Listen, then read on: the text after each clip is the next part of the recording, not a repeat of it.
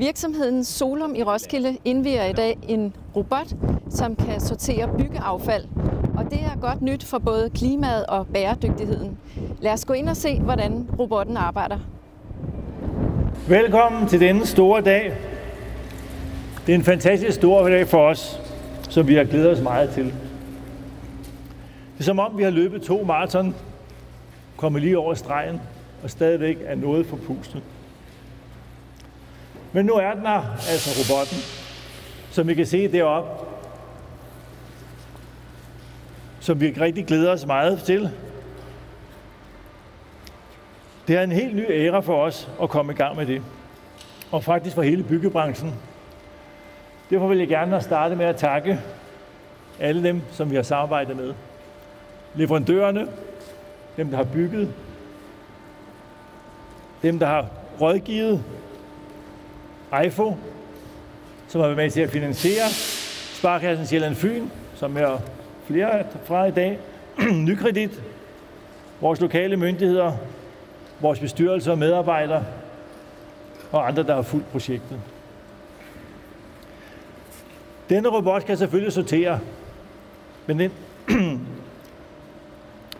men den anvender som noget helt nyt kunstig intelligens. Skal jeg lidt? Hvem jeg kan det? Ja. Men den anvender som noget helt nyt. Det kan godt høre, det hjælp. kunstig intelligens. Og det vil sige, at den bliver mere og mere præcis for dag for dag, hver dag vi bruger den. Og det er lidt specielt. Der har været flere gæster, som har været nogle gange og kan sige, at simpelthen den er blevet bedre siden sidst. Men vi bliver også klogere, og vores læringskurve den har været rigtig, rigtig stejl. Vi skal lære, hvordan vi optimerer og udnytter robotten på den rigtige måde, så vi får det bedst muligt ud af affaldet. Her på pladsen modtager vi jo mange forskellige typer affald. Men øh, vi har modtaget noget sådan et blandet byggeaffald i mange år, og der har vi haft en maskine, som sorterer det her ud. Og den har cirka sorterer 5% ud af det affald til genbrug. Men med robotten, som vi har kørt med en måneds tid eller to, er vi allerede nået op på over 70% udsortering til ren genanvendelse. Så vi er faktisk gået fra 5% til over 75% nu. Så vi har faktisk blevet 70% bedre. Og det er jo imponerende, og det er faktisk helt fantastisk og revolutionerende. Noget af det, I kan se, når I går herfra, så står der sådan en pavillon ude foran. Øh, og den er lavet af genbrugsplast og genbrugstræ og støbt i 3D. Så kig lige på den. Det er nogle af den der type ting, vi gerne vil prøve i fremtiden og lave nogle helt nye ting af det her genbrug, så det bliver brugt ordentligt. På landsplan genanvender vi totalt ca. 33 procent af alt bygge- og anlægsaffald. Og da denne affaldsmængde udgør 43 procent, cirka 43 procent af alt affald, så er der et kæmpe potentiale for at øge genanvendelsen. Derfor har regeringen også øh, indført nye regler for selektiv nyredning, nedrivning og der lægges nu op til at skærpe reglerne for kildesortering på byggepladserne. Og det er rigtig godt. Men trods kildesortering er der ingen mennesker, der kan udsortere lige så præcis som den robot. Den kan se ting, vi ikke kan. Den kan se pixels, det vil sige, den kan se, hvad for en type plast det er. Ikke kun farven, men også, hvad det er for en type plast. Den kan se på alle mulige forskellige ting, som når den bliver dygtigere. Robotsortering kan derfor være med til at udsortere langt mere til genanvendelse, både hvad angår usorteret, men også sorteret affald. Ikke nok med, den er langt mere nøjagtig, så sparer den rigtig meget tid på byggepladsen, og så er den yderst effektiv. Gennem en langt højere genanvendelse kan vi spare samfundet for anvendelsen af vigine råstoffer, samt sænke CO2-belastningen fra bygge- og anlægssektoren. Bare for at give jer nogle tal. Nu lige lidt.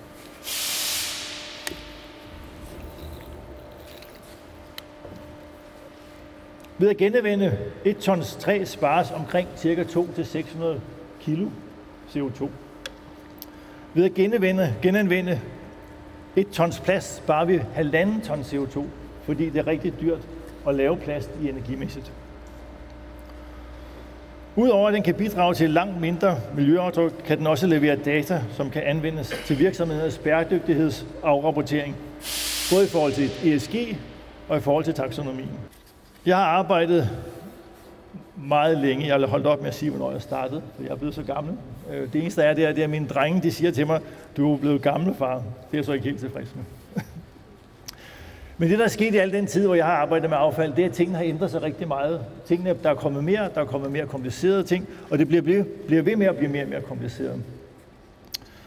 Og noget af det, som vi har en stor udfordring med øh, for byggeaffald, for byggepladser og genbrugsstationer, ja, det finder vi desværre flere og flere, det er batterier. Batterier er et stigende problem i affaldssektoren. Man putter batterier i sko til børnene, man putter batterier i øh, der er batterier alle vejen, og det er et kæmpe problem. Og særligt lithiumbatterierne, fordi der, dem kan der gå brand i. Øh, der er en stor brandfare for dem. Så selvom vi her i Solum efterhånden er halvt uddannede brandmænd kvinder, så har vi ud over vores egen brandvogn, hvor vi kan slukke brænde, har vi også fået i robotten et helt specielt udstyr, hvor vi kan hvad hedder, med skum slukke ting. Det kan I se deroppe, de der rør, der går derop. Det vil sige, der er sådan, når den kører, så kan den, øh, hvis der sker en, en, en brand, så kan det, kommer der simpelthen skummeranlæg, som, som i et, et helt kvarter putter skum ud over det, der ligger nede under, for at være sikker på, at det ikke, at det ikke brænder. Udover en hel del sikkerhedsforanstaltninger, som hvor vi har på hele pladsen, sådan nogle varmesøgende kameraer, vi har sådan droner, der flyver og ser tingene, og så har vi kamera hele tiden på vores plads, 27, eller hele døgnet i 24 timer, så har vi også yderst kompetente og dedikerede medarbejdere her på pladsen og i virksomheden. Vi er et team med høj grad af sammenhold og en rigtig god samarbejdsrelationer. Og det er der samtidig med, at vi er en høj grad af diversitet i medarbejderstaben. Og jeg er utrolig stolt af at stå i spidsen for en virksomhed, der ikke bare går forrest i den grønne omstilling, men også går forrest, når det handler om inklusion og diversitet. Derfor er jeg også rigtig glad for at kunne byde velkommen til udlænding og integrationsminister Kåre Dybvad Bæk, som jo er valgt i vores område. Og udover at du er minister øh, for udlænding og integration, så har du jo været faktisk i det, som vi alle helst synes er rigtig hænger godt sammen med det, vi gør, indrigs- og boligminister før. Så du har både stået i spidsen for både byggeri og integration. Så derfor så vil jeg rigtig gerne byde dig velkommen og komme herop og sige noget. Det er jo rigtigt nok, at øh, jeg havde ansvaret for bygningsreglementet og genbrug af byggematerialer, Øh, det vækker flere følelser blandt folk i branchen, end man lige skulle tro. Jeg kan huske, at jeg blev kaldt populist, fordi jeg øh, gik ind for at genbruge øh, beton. Øh, det, det er jo ikke sådan en følelse, man normalt øh, møder hos folk, når man snakker om byggematerialer. Men her i branchen, der går folk meget op i det, og det er jeg glad for. Det betyder noget, hvordan vi håndterer vores materialer. Jeg har jeg ved ikke, om I har set den øh, dokumentar, der kom i foråret om den sorte svane. Øh, altså hende her, der, der hjælper folk med at snyde med forskellige ting. Og Øh, en meget stort omdrejningspunkt i den sorte svane, det er jo byggeaffald. Det er byggeaffaldet fra øh, Furesø Kommune og byggeaffaldet fra øh, Holbæk Kommune, som ham her, øh, Fasser, han er blevet rig på. Han sidder i sin store villa, og så har han et stort lokale nede i Solrødcenteret, hvor han øh, øh, begår alle sine ulovligheder. Og det, som han tjener sine penge på, det er at øh, ulovligt slippe af med byggeaffald.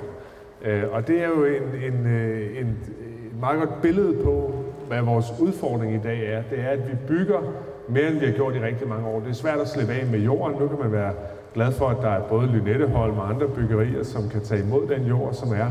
Men det er også rigtig svært at slippe af med vores byggeaffald. Det koster mange penge. Det er svært at genbruge det på den rigtige måde, på trods af, at vi udmærket ved alle sammen, at hvis vi skal blive ved med øh, også at kunne have et samfund og et klima, som hænger sammen, jamen, så bliver vi nødt til at blive bedre til øh, at bygge øh, vores ting mere bæredygtigt. Så vi kæmper med at lykkes med at sortere og med at genbruge vores byggeaffald. Og derfor er jeg glad for at komme her i dag, her i mit eget lokalområde, og være med til at indvide det. Jeg har fået at vide, at den begynder at larme rigtig meget, når den går i gang, og det gør den på et eller andet tidspunkt snart. Nu må I lige sige til, når det er, den starter, så jeg ikke sådan bliver væltet bagover. Men men grundlæggende så er vi jo i en situation, hvor vi på den ene side som samfund gerne vil have flere byggerier. Altså vi efterspørger flere kvadratmeter hver især. Et parcelhus, der blev bygget i 80'erne, var måske 150 kvadratmeter. Hvis man spørger huskompaniet i dag, hvad er deres standardstørrelse, så er man snart over øh, 200 kvadratmeter. Så vi vil gerne have flere kvadratmeter. Vi vil også have flere kontorfaciliteter. Der skal ske en masse ting, og det er jo øh, grundlæggende sundt, at vi øh, får et bedre miljø at være i, men samtidig så ved vi også bare, at der står rigtig meget gammelt byggeri fra 60'erne, som blev bygget i en tid, hvor man lavede tingene på en anden måde, som måske er svært øh, at opdatere til den standard, folk forventer i dag. Og der vil altså være en del af det, som, som, som stadig vil blive øh, revet ned. Og så er spørgsmålet jo, hvordan kan vi på den ene side sørge for, at vi giver folk mulighed for at udvikle boligbyggeriet på en måde, så det øh, svarer til de behov, vi har, både til vores hjem, men også til vores arbejdspladser, til de faciliteter, der er, men samtidig også har øje på, hvordan er vi inden for rammerne øh, af det, som vores planet giver os mulighed for, hvordan sørger vi for ikke at bruge for meget CO2 i processer. Og der ved vi jo bare, at der er nogle ting, som virkelig vejer tungt, blandt andet øh, beton, øh, tegl, øh, alt det, som skal brændes, det koster utrolig meget CO2, og der er det afgørende, at vi bliver bedre til at genbruge det, og vi bliver bedre til at genbruge det på det niveau, øh, som det øh, er brugt på oprindeligt. For det er jo rigtigt nok, som, som der blev sagt, at vi har en relativt høj genanvendelse sammenlignet med andre lande, men meget af det, som vi genanvender, bliver også brugt til øh, vejfyld, bliver brugt til øh, ting, som er på et lavere niveau, og der tror jeg, det er øh, et vigtigt skridt frem af, at vi formår at sortere bedre til at starte med, for efterfølgende også at kunne genbruge det bedre. Vi øh, har kun et vist antal materialer. Vi ved jo dem af os, der øh, tidligere er kommet på festivalen herude sydpå, at på et tidspunkt så begyndte grusgraven at bevæge sig ind på, på teltområdet, og det var jo noget, som mange af os var meget frustreret over, men det var jo et meget konkret billede på, at der bliver gravet så meget grus på Sjælland, fordi der er så mange byggerier, der har brug for øh, de materialer, som er. Der betyder det utrolig meget for os, hvis vi kan blive bedre til at genanvende det, og hvis vi kan blive bedre til også øh, at og, øh, og passe på de, de ressourcer, som vi har. Så jeg glæder mig til, jeg er glad for at blive inviteret her, og jeg glæder mig til at være med til at se, hvordan det fungerer. Jeg arbejdede selv meget ihærdigt som øh, boligminister med at sikre, at vi fik et mere bæredygtigt byggeri og satte en masse initiativer i gang. Nogle af dem er også gået meget godt, nogle af dem er desværre ikke gået helt så godt, som vi troede, men det er en svær opgave politisk, og jeg tror på, at det er vigtigt, at vi får hjælp på Christiansborg fra Øh, alle jer, som driver innovation i private virksomheder, er med til at sætte nye teknologier og nye metoder øh, i spil, sådan så vi også kan blive inspireret til, hvordan vi kan være med til at sætte nye standarder også for eksempelvis, hvor meget CO2 man må udlede, når man bygger nye byggerier, sådan som det er kommet her for et par måneder siden. Så med de ord, så vil jeg bare sige mange tak for invitationen. Jeg er rigtig glad for at være her i dag. Jeg glæder mig til at se, øh, hvordan det fungerer øh, i virkeligheden. Tak for ordet. Jeg, øh, jeg har spurgt lidt rundt omkring, hvor, hvor glad jeg skulle være for at være her i dag. Og jeg har fået rigtig mange gode svar. Alle sammen siger, at de er glade.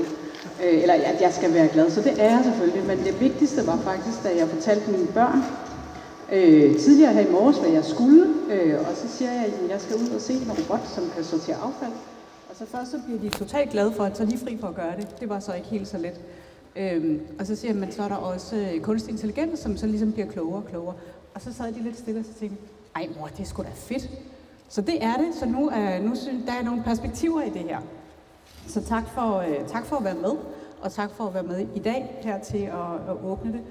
Jeg tror, i de her dage, der er det cirka 10 år siden, at, øh, at vi i Dansk Industri holdt den første konference, øh, globale, konfer- eller internationale i hvert fald, øh, konference om cirkulær økonomi. Øh, og det har jo taget noget tid at få sparket i gang i Danmark, må man sige. Og solo må man bare sige, I har været med hele vejen, og I har været øh, utålmodige, indad til i hvert fald, men ikke vist det udad til. Så, øh, så tillykke med anlægget, og, øh, og jeg er også rigtig glad for, at I har været med på hele rejsen. Sidste år der udkom der en Circularity Gap-rapport. Den viser, at vi er 4% cirkulære i Danmark. Det betyder 4% af alle de ressourcer, vi bruger i vores produktion, er genanvendte eller genbrugte materialer. Hvis vi skal være verdens førende cirkulære økonomi, så er det selvfølgelig ikke godt nok. Øh, og derfor er det også øh, rart, at vi nu får taget fat på den store bunke affald, som, øh, som kommer fra byggeaffaldet, og som vi godt nok har genanvendt, men nok ikke i særlig høj kvalitet. Og det gør det her jo øh, anlæg et stort skridt videre på faktisk at kunne genanvende bedre, og, øh, og så vi også får mere, øh, flere ressourcer, som vi kan putte ind i nye produkter. Og jeg glæder mig til at komme ud og se det lille skur derude ved siden af. Nej, jeg må ikke kalde det skur, vel? Pavillon. Øhm, fordi det er jo der, hvor vi skal have nyttiggjort tingene. Vi skal have genbrugt det, så vi kan få nye produkter ud af det. Vi holder jo nok ikke op med at bruge hverken plastik eller træ, selvom, øh, selvom vi godt ved, at vi har lige i overkanten i vores forbrug. Nogle af de andre perspektiver, der er i det, er jo, øh, er jo de data, som det her anlæg kan samle op, som faktisk kan hjælpe dem, der leverer affaldet til at blive øh, klogere. Hvad er det egentlig, der er i det affald, de øh, producerer og kommer af med? Men også så de kan bruge det i deres egen øh, ESG-rapportering og øh, både fortælle, hvad de gør, men også være bedre til at genanvende deres øh, materialer, undgå de, de materialer, som måske skaber problemer for genanvendelsen. Så, øh, så alt i alt et, øh, et virkelig øh, godt skridt, I har taget. Øh, meget fantastisk. Jeg vil egentlig også gerne lige sige, at øh, tak til regeringen for at holde fast i klimaplanen fra 2020. Den er ekstremt vigtig, også selvom vi ikke er færdige med at implementere den, men, men den ligger simpelthen grundlaget for, at virksomheder som Solum og andre tør investere og tør tage det der skridt ud, hvor man ikke rigtig ved, om der er vand under vippen, men, men, øh, men håber på, at der er det. Men, øh, så, så tak for det også, det er et vigtigt skridt i det her. Så tillykke med anlægget, og øh, jeg glæder mig til at både at høre og se det larme. Jamen kære alle, det er med stor glæde, at jeg står her i dag som formand for Klima- og Miljøudvalget i Danske Regioner for at indvige det her innovative affaldssorteringsrobotanlæg. I dag der markerer vi ikke blot en teknologisk milepæl, men også et vigtigt skridt mod en mere bæredygtig fremtid. Som vi alle ved, så står vi overfor en alvorlig udfordring, og det er, hvordan vi bedst muligt forvalter de ressourcer, som jorden giver os. I takt med, at befolkningen vokser, og vores forbrugsmønter ændrer sig, så er det afgørende, at vi finder effektive måder at genbruge og sortere vores affald på. Det her anlæg må jo siges at være en del af løsningen. Med meget avanceret teknologi, så kan vi nu sortere byggeaffald mere effektivt end nogensinde før. Og det er et vigtigt område at sætte ind på, for byggeaffald udgør faktisk 43 procent af den samlede affaldsmængde i Danmark. Og med det her anlæg, så betyder det, at vi kan genbruge en større del af vores ressourcer og reducere mængden af affald, der ender i deponi. Som region, der har vi et ansvar. Og som land har vi også et ansvar. Vi skal være forgangsland inden for bæredygtighed og innovation. Det her anlæg vil ikke kun gavne Roskilde, men også inspirere de andre regioner i vores land til at tage lignende initiativer. Vi skal også huske, at affaldssortering ikke kun handler om teknologi, selvom det jo er det, vi står og fejrer i dag. Men det handler også om at skabe en kultur, hvor vi alle sammen tager ansvar. Vi er forpligtet til at engagere vores borgere, lære dem om vigtigheden af genbrug og opfordre dem til at bidrage til vores fælles mål. Også selvom de fleste borgere derude, som jeg hører i øjeblikket, brokker sig en del over alle de her skraldespande, de nu skal sortere i. Men det er bare den vej, vi er nødt til at gå. Jeg vil gerne takke alle, der har arbejdet hårdt for at gøre det her projekt til virkelighed. Jeres dedikation, den er uvurderlig, og den er skyld i, at vi står, hvor vi gør i dag. Så lad os nu tage det her skridt sammen og vise, at vi kan gøre en forskel for vores kommende generationer og for os selv. Tusind tak for invitationen, og tak for ordet. Når inden vi indviger robotten, så kan jeg jo godt afsløre, at den har ikke fået noget navn endnu. Så der ligger sådan nogle små sædler rundt omkring hos jer, og hvis I har lyst, så må I meget gerne skrive et forslag til et navn, og så putte det ind i en kasse, vi har stående det bagved, og skrive bare jeres e-mail, så vil vi sørge for, at der kommer tre flasker god vin til den, som, hvor vi vælger den. Men nu er tiden kommet til, at vi officielt skal ind robotten, hvilken Kåre Dybvad Bæk har lovet at stå for, sammen med vores udviklingsdirektør, Anne Dorte Feders. Så vi to ikke gå hen og vise, hvordan det hele skal lade sig gøre. Kom over her.